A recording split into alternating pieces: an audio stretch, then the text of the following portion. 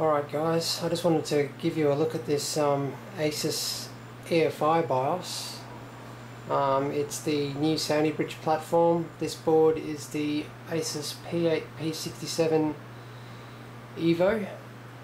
Um, sorry, I'm not. I don't have a tripod, so the camera's going to be moving around a bit. Uh, but anyway, um, this is the information screen so I won't go into every single detail because we'll be here all night.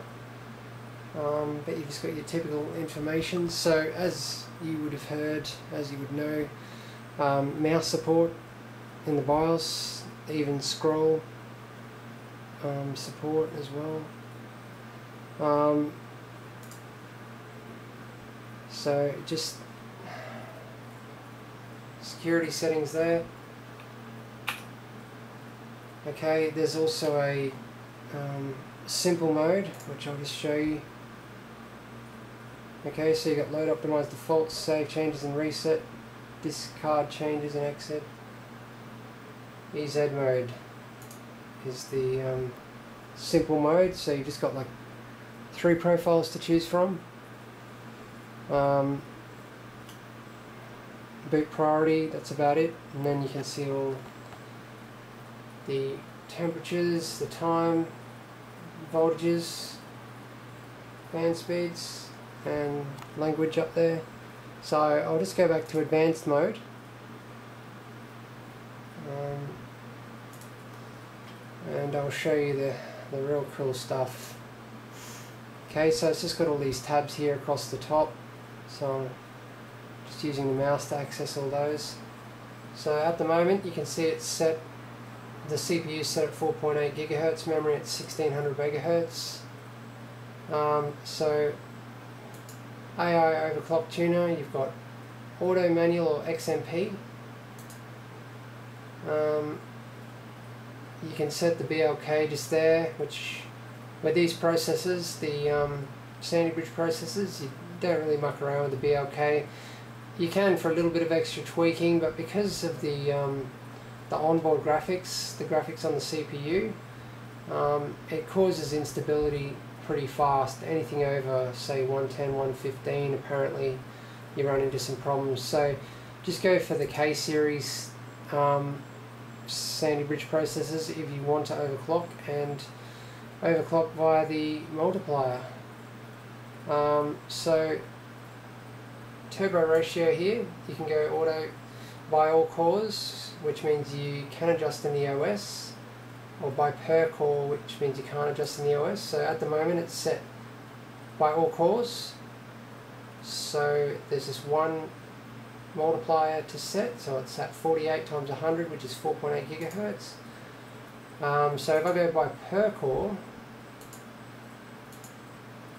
you can see you can adjust each separate core of the processor the multiplier of each separate core of the processor. So it's pretty cool. Um, there's lots of power settings with this. Um, internal P PLL overvoltage, memory frequency, you can see it goes right up to 2400 megahertz.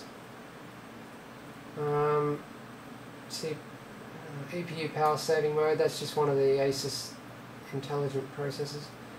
OC tuner is um, auto tuning, okay, DRAM timing control. So you've got a fair bit of control over the, the RAM here. So I'm just scrolling down. CPU power management, another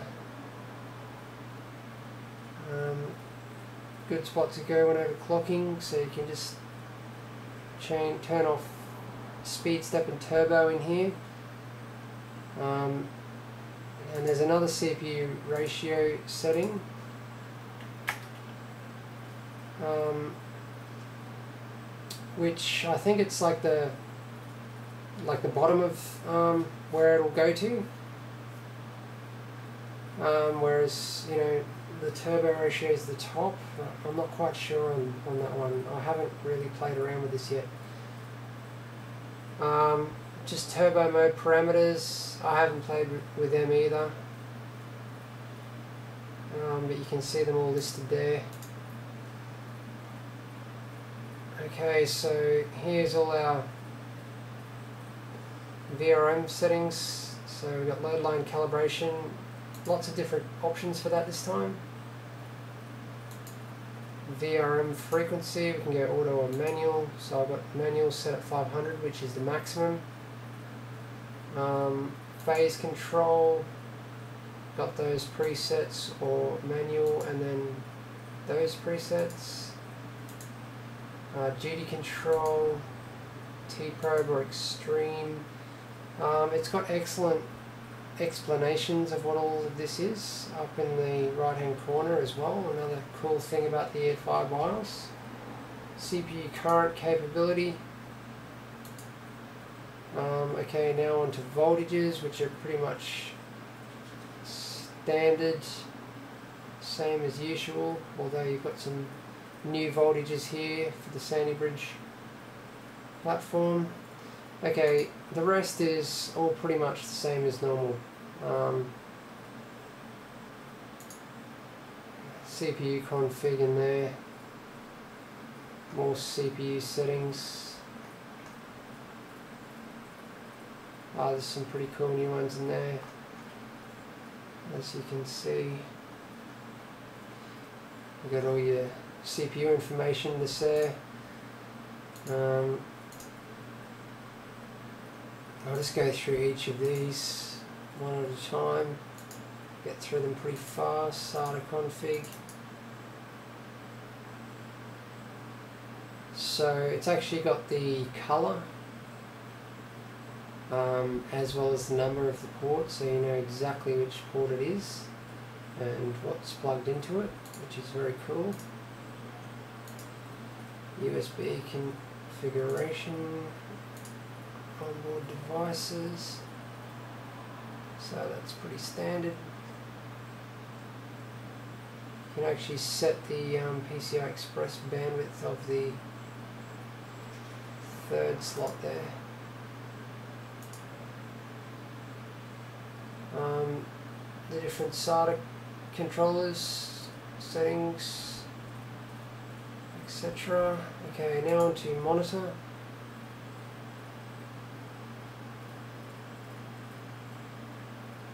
Q fan adjustments, dynamic fan control, anti-surge support. You can have that on or off. Um, so this is the boot section. Boot priority. You've got this boot override as well. Um, which just allows you to override the boot priority like one time I think. Um, and boot into some whatever you want. Hard drive BBS properties. Okay. There you go. That's basically everything. And tools you got the EZ flash utility for flashing the BIOS OC profile SPD info this is pretty cool. All information about your memory. Very useful. So this particular board has eight OC profiles. Um, yeah, so that's that's pretty much it. Thanks for watching guys.